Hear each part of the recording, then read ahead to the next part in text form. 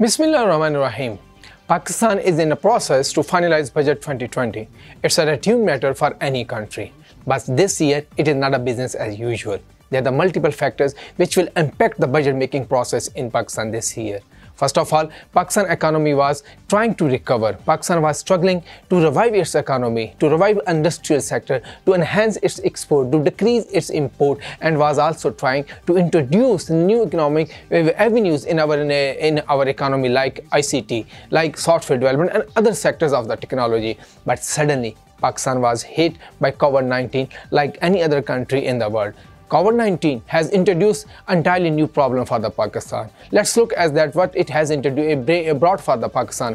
First of all, our exports started to decline. In the last few months, we were witnessing a steady increase of our export, but due to COVID-19, our exports has been dropped dropped, uh, our exports has been dropped drastically. If you look at the statistics, our exports are in April 2020, it was only 957 million dollar. That is a bad news. The major impacted sector were the knitwear, were the cotton, and uh, and ready-made garments. Our ready-made garment export decreased by almost 70%, and our cotton cloth export it decreased by almost 64 point something. So these are the bad news for the Pakistan economy. But at the same time, our import are not showing the similar trend. Our imports are decreasing by nominal rate. If we look at the statistics, our imports in April, they, they were more, it was 3.2 billion. And our export was only 957 uh, million dollars. So it's a huge difference. It is it, uh, it is contributing to increase our current account deficit which is more than the 2 billion dollar at this point of the time. And the major surge in import was was noticed in the food sector for example in the palm oil and in the pulses. Pulses almost increased by the 89 percent. That is that is a very strange and a disturbing fact because pakistan is a, uh, an agriculture country. If we look at other dimension, our, uh, our large-scale production sector is also going through some very negative trends. If you look at the large-scale production, it has been dec uh, decreased by 22.95%. If you look at the sector which has been impacted most in the number top, at, uh, at the top is the textile sector. Then we can talk about automobile, engineering goods. So these are the circumstances in which Pakistan was trying to look at its economy, design its budget. If we look at another dimension, the dimension of the revenues, that is not also very good. Rather, we can say it's also showing a bad picture. If we look at our tax collection, Prime Minister a few days back, he mentioned that our tax collection has been decreased by 30%. If we look at our remittances, World Bank has predicted that in South Asia, there's a decrease of 20% in the remittances. But a real problem will be emerged in the coming months because a number of our labor has been uh, has been uh, uh, has been freed from the market and they are looking for the job. Most of majority of them are coming back to the country.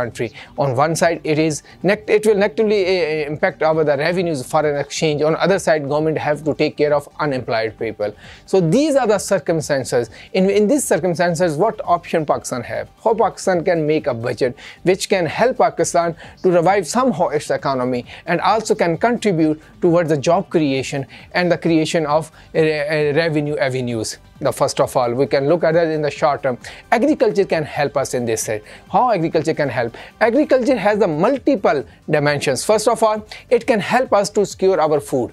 Food is very important. Wherever there is a shortage of the foods, you can find there the rights, you can find there the violent protest. So agriculture can help us to provide food uh, our population. Second, it will help us to create jobs. And if we have looked at the statistics, already more than the 40% of our labor is engaged in the uh, agriculture. If we increase uh, opportunities in agriculture or we improve the production system of the agriculture, we can consume more people or the more labor in the agriculture sector. Second, it will also help government to reduce the import bill in the term of the, if we have a good quantity of the cotton, we can provide that cotton to the textile sector and the textile sector will not have to import the cotton. On one side, we can save the uh, uh, foreign exchange not by importing the cotton. On other direction, we can also create a local market or we can also provide the raw material at the local market which will help the run the our industry. If agriculture will be thriving so large number of population living in the village they will contribute toward the consumption of the local products. It's, it can help our industry to revive somehow or you can say it can help our industry to sustain its its its footing and also can provide help our industry to create job on the sustainable basis. Second area is information technology or we can say the technology at a larger scale. At this time uh, at this time government of pakistan is struggling and government is trying to uh, trying to uh, uh, trying to introduce our uh, digitalization process in the Pakistan. At this point of the time, government is also giving some facilities to the information sector, information sector and technology sector.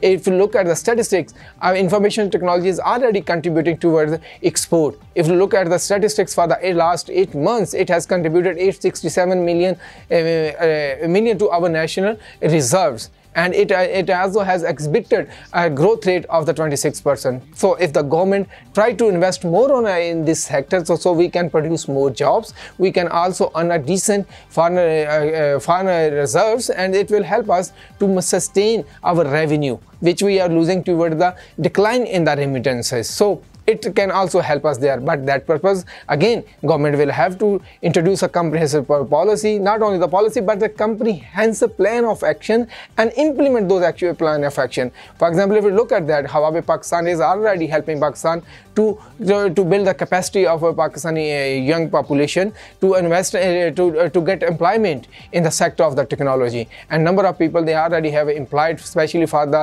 their the functions or the, their their operations in Middle East and the Central Asia. So this is another avenue. The third avenue is Pakistan should talk to the China for inclusion in the supply chain. It can help, it will help SMEs to sustain the business. Pakistan should ask China for inclusion in the supply chain in the sector of the technology, in the sector of the food processing industry, in mechanicals or in other sectors. It will help our SMEs to sustain their business. When they will be able to sustain their business, so they will be able to sustain the labor. So it will help us to reduce the unemployment in the Pakistan.